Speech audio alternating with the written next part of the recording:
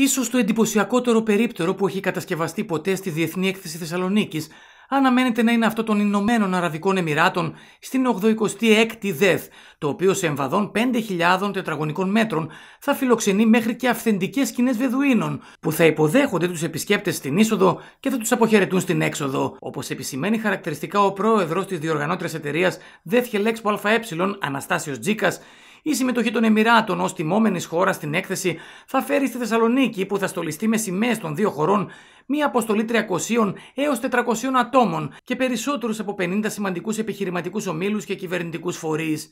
Επικεφαλής της αποστολής θα είναι ο Υπουργός Οικονομίας των Εμμυράτων, ενώ πρόκειται για την πρώτη φορά στην ιστορία των δεκάδων διοργανώσεων της ΔΕΔ που μια αραβική χώρα λαμβάνει τον τίτλο της τιμόμενης στην έκθεση. Καταρχάς θα δούμε ε, σκηνές Βεδουίνων, θα δούμε το γεράκι βέβαια με όλα τα απαραίτητα μέτρα προστασίας που επιβάλλει ο νόμος που είναι το, το συμβολικό ζώο των Ηνωμένων Αραβικών Εμμυράτων. Ε, θα δούμε πολλές σημαντικές εταιρείες και θα δούμε ένα περίπτερο όσον αφορά την αρχιτεκτονική και την κατασκευή του θα είναι ένα από τα πιο εντυπωσιακά που έχουν γίνει ποτέ στην, ε, στη Διεθνή Έκθεση Θεσσαλονίκης. Οπότε δεν θα χάσει ο κόσμος.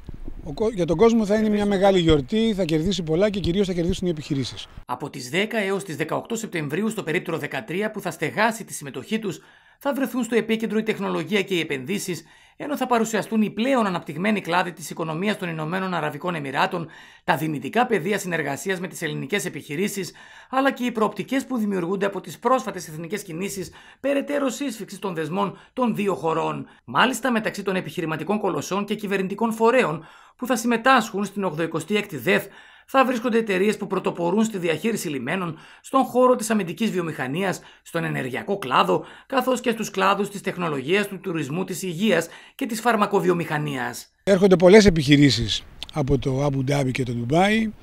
Ε, νομίζω είναι μια ευκαιρία για τις ελληνικές επιχειρήσεις να κάνουν συνεργασίες, να εξαπλωθούν στην Αραβική Χερσόνησο και το ίδιο βέβαια ε, πρέπει να πούμε ότι σημαίνει αυτή η έκθεση και για τις αραβικές επιχειρήσεις να επεκταθούν στην Ελλάδα και στα Βαλκάνια. Αυτό που τονίζει εμφατικά ο κύριος Τζίκας είναι πως η 86η ΔΕΘ αναμένεται να προσελκύσει πλήθος επισκεπτών και ίσως να σημειωθεί ρεκόρ επισκεψιμότητας, αφού σύμφωνα με τις πρώτες εκτιμήσεις ο αριθμός θα ξεπεράσει κατά πολύ τις 250.000, ενώ το παρόν θα δώσουν και περισσότεροι από 1.500 εκθέτες με την ελπίδα να κεντρήσουν το ενδιαφέρον του κόσμου. Φέτος είναι πρώτη φορά μετά την πανδημία που κάνουμε μια κανονική έκθεση.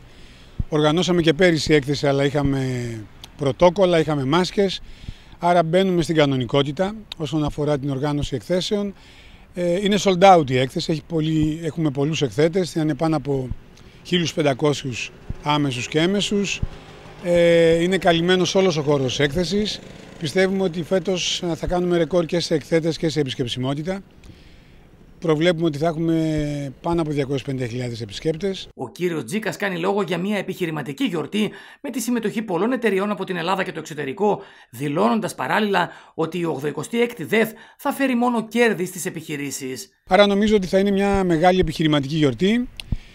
Όσον αφορά τώρα τους κλάδους, όπως πάντα έχουμε τους καινοτομικούς κλάδους, έχουμε τεχνολογία, στο περίπτερο 12 έχουμε ε, ηλεκτροκίνηση, Έχουμε αφιέρωμα στην κυκλική οικονομία και στην ενέργεια, στη διατροφή.